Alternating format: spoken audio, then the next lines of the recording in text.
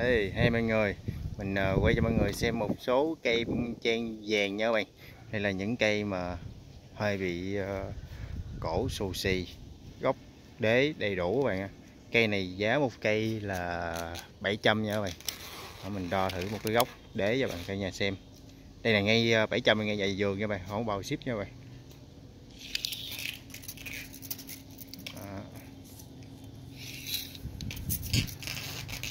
Để thử uh, lên đây nha cả nhà ha.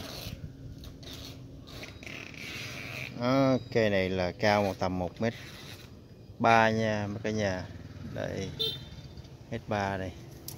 Đó, còn cây bên đây thì uh, đồng giá là 700 hết nha cả nhà. À, xuống tới gốc này cây này cao mét hai. Đó, cây này cao mét mốt. Cây này thì cao uh, mét hai như cái nhà ha. Còn cây này thì uh, mét mốt. Đó, mình ờ, để từ gốc nè. Đây là mấy cây mình thoát thân nha nha. Cây này thì cao uh, mét mốt. Đó giờ quay mấy cái đế cho cả nhà xem.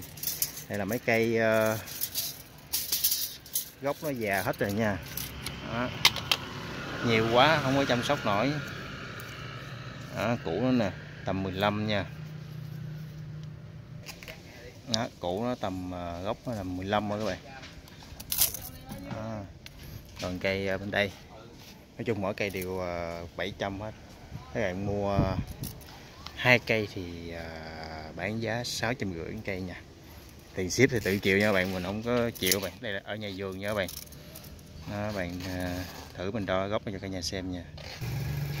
Đó, gốc này cũng 15 16 nha bạn. Còn bên đây thì à, cây này cao lên. Đó. Mình mua nhanh đi để mình út lái vô mua hết. Đó, cái này là cái cũ đó nè. Này móc ra móc ra được nha. Đó. đo là đo cái cũ dưới đây lần đo gốc lên đây. Cỡ 15 hết đó bạn ơi đây là cũng là một cái cây cao nè. Đó. Củ nó này nha cả nhà. Đây. Gốc củ. Đó, cái này môi gốc này ra.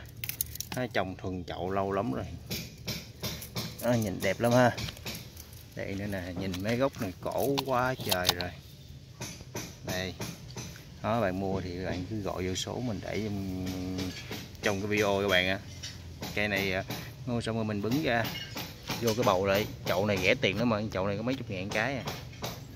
Nó trang về nha bạn. Đây. Cảm ơn mọi người nha.